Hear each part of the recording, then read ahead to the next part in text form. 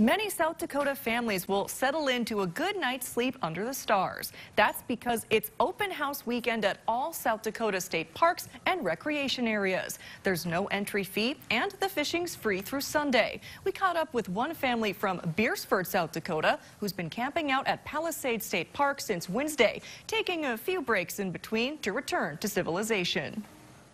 We ran home last night for a quick baseball game for one of the boys and came, they had the choice to come back or stay in town tonight, and they chose to come back, of course, so they like it. Um, my husband works in Sioux Falls, so he can easily commute from here to work and haul the camper for us and join us on the weekends. So. The Halversons bought their camper last year at the start of the pandemic. They plan to remain avid campers this summer.